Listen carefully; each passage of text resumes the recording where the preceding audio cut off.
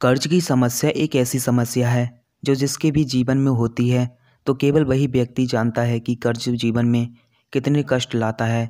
जिस भी व्यक्ति के जीवन में कर्ज होता है तो ऐसे व्यक्ति ना तो सही से खा पाते हैं और ना ही सही से सो पाते हैं और कोई भी कार्य करने में उसका मन भी नहीं लगता।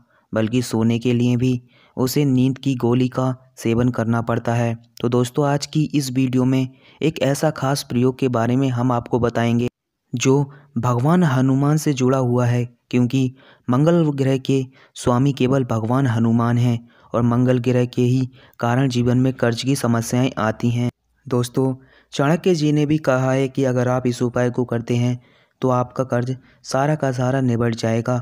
दोस्तों, अगर आप चैनल पर नए हैं तो चैनल को सब्सक्राइब कर लें ताकि आपको हमारे चैनल के माध्यम से ऐसा ही ज्ञान सबसे पहले प्राप्त हो सके और कमेंट बॉक्स में जय श्री कृष्णा, जय श्री हनुमान ज़रूर लिख दें।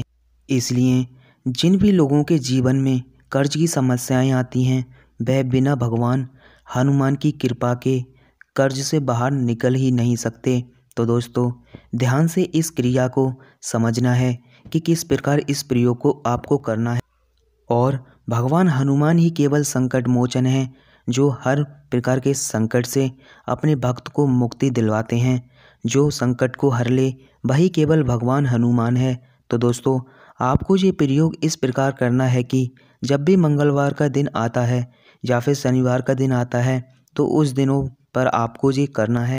दोस्तों, किसी भी हनुमान मंदिर में मंगलवार या फिर शनिवार के दिन लगातार जाना है, गुड़ और चने लेकर जाना है और वहीं पर बैठकर पाँच बार कम से कम हनुमान चालीसा का जाप करना है, यानी कि हर मंगलवार, हर शनिवार या आपको करना है। गुड़ और चने लेकर वहाँ पर जाना है और भगवान हनुमान को भोग लगाकर उन गुड़ों और चनों को बच्चों को बांट देना है। क्योंकि अगर मंगलवार के दिन या फिर शनिवार के दिन आप बच्चों को कुछ मिठाई खाने के रूप में देते हैं तो इससे प्रबल योग बनते हैं और आपके जीवन में कर्ज की समस्याएँ निश्चित ही समाप्त हो जाएँगी।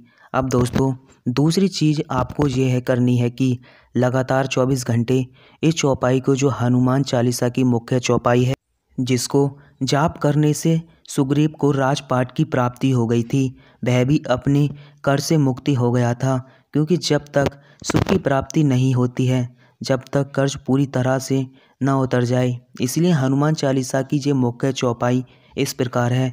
तुम उपकार, सुग्रीवन कीना, राम मिलाए राजपथ धीना।